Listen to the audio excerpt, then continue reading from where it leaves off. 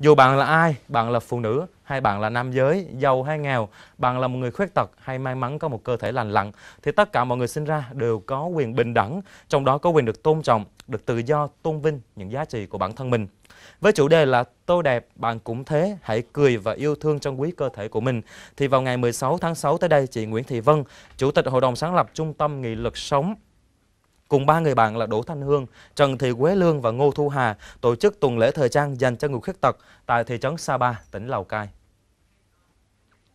Đây là một hoạt động nhằm trong quá trình đào tạo về ứng phó với bạo lực gia đình, bạo lực trên cơ sở giới, tấn công tình dục và buôn bán người. Trung tâm Nghị lực Sống đã tổ chức 4 kỳ tại Australia, Hà Nội, Hội An, Thành phố Hồ Chí Minh, gây tiếng vang lớn và truyền nghị lực cho nhiều người phụ nữ khuyết tật, thêm tự tin, mở rộng mối quan hệ xã hội và hòa nhập với cộng đồng. Hiện tại, chị Nguyễn Thị Vân đã chọn được 20 người mẫu và đang trong quá trình làm việc với các nhà thiết kế để đưa ra những mẫu thiết kế phù hợp nhất với các bạn. Đặc biệt, chương trình lần này có sự tham gia của hai nhà thiết kế nổi tiếng, đó là nhà thiết kế Chula đến từ Tây Ban Nha và nhà thiết kế Thanh Thúy đến từ Hà Nội, Việt Nam.